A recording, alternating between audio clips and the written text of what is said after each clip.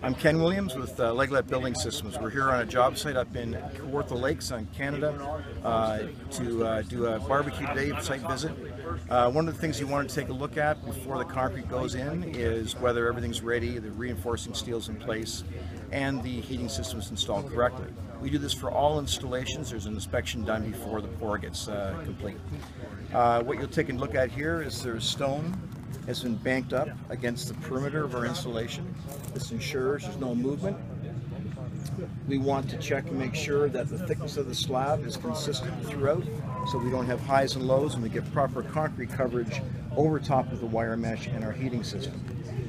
You'll note in here that a number of our pipes are insulated. This allows us to manage the temperature through the slab uh, to balance it completely throughout so all the hot air doesn't get delivered immediately around the distribution box in the far side of the wall over here.